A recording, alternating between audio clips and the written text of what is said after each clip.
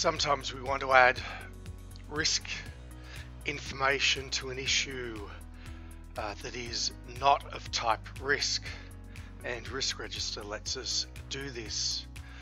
Let's have a look at an example. We have this issue here which is of type task, one, just one of the common issue types. Let's click on it and open it up properly. You'll see here this is just a typical uh, task. However, this button appears add risk assessment at the top. When we click on that, the risk assessment panel appears and we can now add in risk information to this task. And if I click modify there, I can say, for example, it's a likely risk um, and that impact though is, uh, let's say low.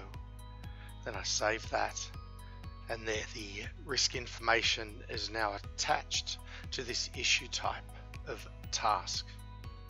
And you can do that with any issues you are in your uh, database.